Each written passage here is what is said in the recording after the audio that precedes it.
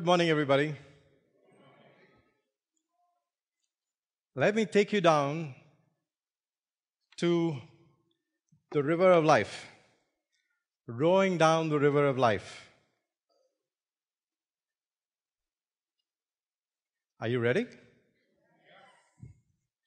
Over the next 18 minutes or less, I'm going to talk to you about rowing and use rowing as a vivid metaphor to reconnect us with the commonsensical, everyday things that can help us live our life to the fullest. So let me start with a story of how I got pulled into rowing. And this is the story of G3 and the smoking dragon. Now, Guy 3 or G3, was a young copywriter who worked with us at Ogilvy way back in 1998. And I had just taken over as the head of Ogilvy Madras. And our chairman, Mr. Piyush Pandey, the legendary one and only Mr. Piyush Pandey, came visiting. Now, Piyush was also known as the smoking dragon. Now, the smoking dragon did not know, or perhaps he didn't care, that ours was a no smoking office. And while all of us senior folk trembled in our boots, wondering who would bell the smoking dragon, young G3 went up to Piyush and said, Mr. Pandey, this is a no smoking office. And to give the smoking dragon due credit, he put out his cigarette immediately. So after Piyush left, I went up to G3 and I said, G3, what gave you the courage to do that? And she laughed and she said, You know, Krish, once you've sat on a single scull, once you've rowed on a single scull, you'll never ever be scared of anything else in your life. And that's how I discovered that rowing builds courage and character. Many years on, I also discovered that rowing builds characters, but that's another story. Not so gently down the stream. I was 44 years old when I started rowing, and I just got my second dan black belt in karate.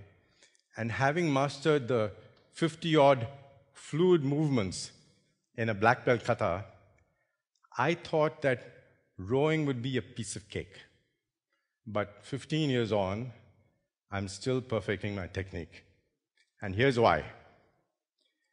Now, this is a quad scull, which has four people on it, being rowed down the Adyar Creek.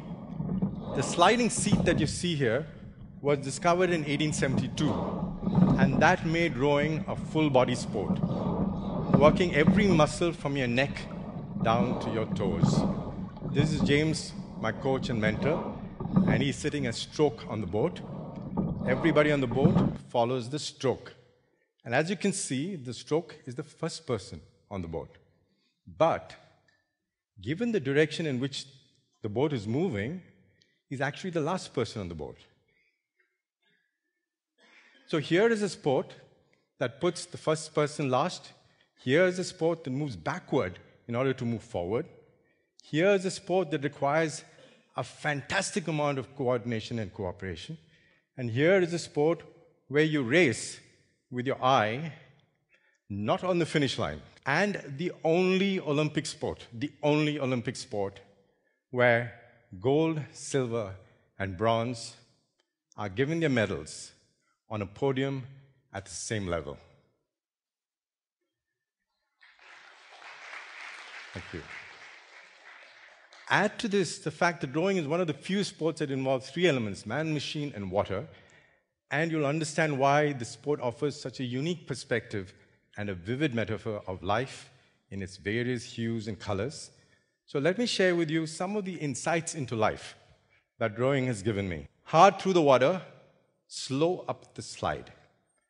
A good coach will have this slogan running through your head as you learn to row. Now, what he really means is when your oars are immersed in the water, that's when you need to put in the maximum effort. Once you've finished, then you move up the slide slowly, catch your breath, and get ready for the next stroke. Take a look at this. the quad scull gliding up the Adyar Creek. And as you can see, hard through the water, slow up the slide. And I've interspersed this with some novice rowing. These guys were taught the very same thing, but in the heat of the race, they've forgotten what they've learned. And back to the quad scull, this boat is actually moving at twice the speed of the novice boat. So, what do we learn? Put your effort where and when it matters most. Catch your breath when you need to. Don't rush things. Give it all you've got when you have to. The second insight pause at the front stop. Remember the slide? When you come to your front stop, a good coach will tell you pause for just a second, pause for a moment in your head. Now, what this really does for you is it allows your oars to completely get immersed in the water. Also, it gives you an inch or two extra of stroke length. And as some of you gentlemen may know, one or two inches extra can make a difference in some situations. Jokes apart, I'm going to now show you a video from the Rio Olympics. This is a single scull race, which was won by Mahe Drysdale. He's 37 years old, and he won this by one five hundredth, one five hundredth of a second, because he remembered to pause at the front stop. When you watch this video, I want you to watch Mahe's head because that's where you can see the, the pause. So that's Mahe Drysdale with a cap. And as you can see, that pause at the front stop. And even while Damir Martin, the guy who came in second, was catching up with him during the last moments of the race, there was a pause at the front stop. So here's a man who won an Olympic gold medal by remembering to pause at the front stop. So, what does this teach us? In life, as on board, it pays to pause for a moment, gather your strength, and focus before your next step. Live life to its fullest extent, savor the moment before, just as you would savor the moment after. Loose grip, play the piano on your oars as you row. Now, all of us know when we are asked to put in a little more effort, our grip becomes firmer, but not so in rowing. If you grip your oars very hard, you can end up in the water. Take a look at this young girl sitting behind, Fasila Hussein, and watch her hands on the oar as she comes up. It's completely relaxed. A loose grip. She's playing the piano. And that's the sign of a very good oars person. And the lesson in life for us? Remember the saying, hang loose, mother goose? Or stay cool? This is the equivalent of a loose grip in rowing. And just as you need to lighten your grip on the oars, you need to stay cool in a tense situation. Let me pause for a moment now and tell you the story of Kotturpuram Bridge on April Fool's Day. I know most of you from Chennai would know Kotturpuram Bridge. Most of us at the Madras Boat Club, when we approach Kotturpuram Bridge, we do so with some amount of apprehension because quite often people are deliberately throwing stones at us um, or casually flinging garbage over the, over the bridge at us. And occasionally, and unfortunately, sometimes people jump off the bridge to take their own lives. And this happened to me uh, six years ago. I was under the bridge on a single scull when a middle aged man jumped off the bridge and fell in the water a few feet away from me. And once I got over the initial shock, the first question I asked myself is Do I really want to save a man who wants to take his own life? And the second question, am I asking myself this because I didn't have the courage to go in there and, and save him? Because I was in a single scull and I was pretty sure that I would get pulled into the water. Fortunately for me, I looked back and there was this much larger boat, a quad scull, about 100 meters away. So I raced up to them and I said, Guys, there's a man drowning in the water under the bridge. Can you please help? So they looked at me and said, Come on, Krish, today is April Fool's Day. You can't fool us. Fortunately for me, my coach was on that boat and he heard the desperation in my voice. So he turned the boat around and we both raced back under the bridge to find that the man had fallen on the only spot, the only spot under the bridge that had just five feet of water. And he was standing there looking completely bewildered. so we were able to save him that day. but the lesson in life for me is that there's a thin line between being brave and being foolish, and we need to watch that line. And on a broader perspective, fate and destiny do play a hand, and you'll go only when it's time for you to go. Lean into the rigger. Now, essentially, in rowing, there are two kinds of rowing the sculling, where you row with two sculling blades, like the ones I brought into, this, into the auditorium today, or you row with one large oar. And a good coach will tell you to lean into the rigger when you're rowing sweep rowing. Now, what this really means is to lean into the side that you're holding the oar. And what this does for you is that it gives you a better catch in the water and helps you move the boat more efficiently. Take a look at this picture. This is Hamish Bond and Eric Murray, the New Zealand pair who've remained unbeaten for the last eight years. They won at London, they won at Rio, and they won every championship in between. And why? One of the reasons why is because they lean into their riggers. As you can see, it's almost as if they're on different boats. So, what does this tell us?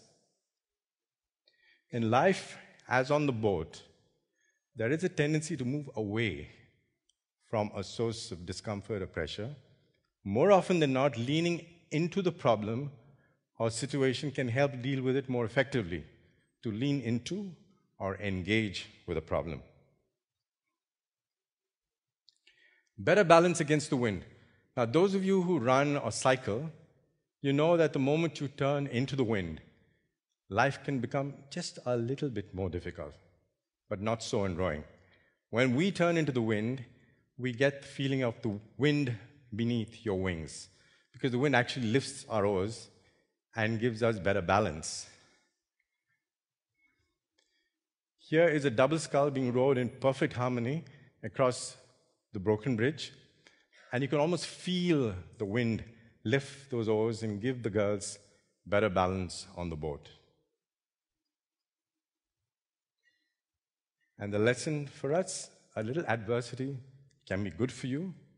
And to quote Shakespeare, for like a toad, ugly and venomous, yet wears a precious jewel upon its head.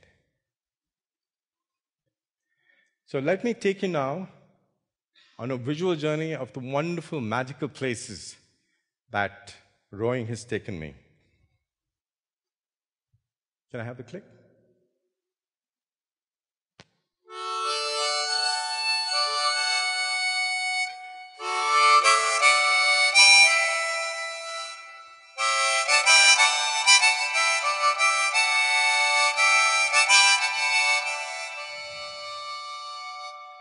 That was an old tune called Under the Bridges of Paris with Me, which was written in 1913.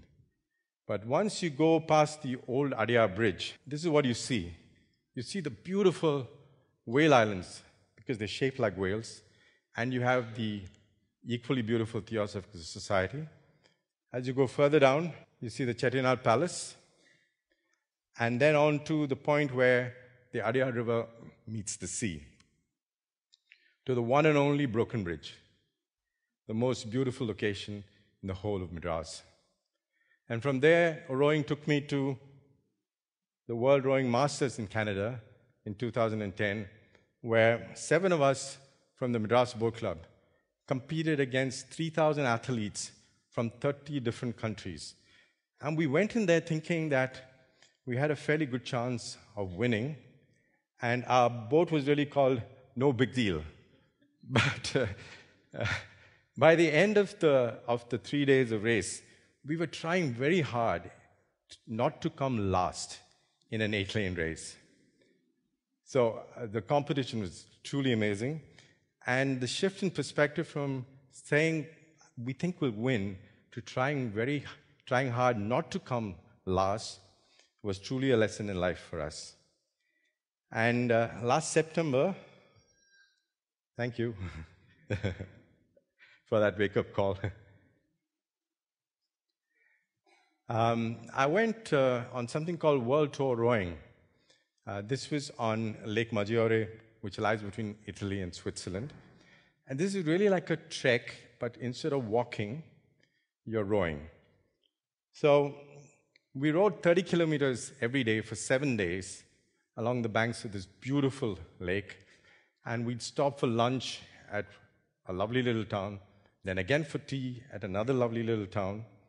And we really enjoyed ourselves. Lovely clean water, swans for company, a double rainbow, sometimes really choppy water but always beautiful. And here are some of the really lovely little towns along the banks. Some astonishing little islands. And we made friends by the boatload with people across many, many countries. And that really brings me to my last lesson in life, which is called the bell sound. Now, when you make a perfect stroke on the boat, you can actually hear the bell ring. I'm not kidding. If you make a perfect stroke, you can hear the bell ring. And I'd like you to hear it.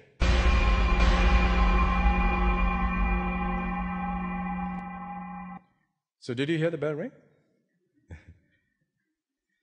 okay, the lesson in life for us is imagine just how different life would be if every time you did something just right, you could hear the bell ring.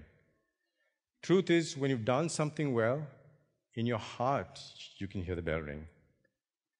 We must accept that not every stroke can be a perfect stroke, but that shouldn't stop us from trying.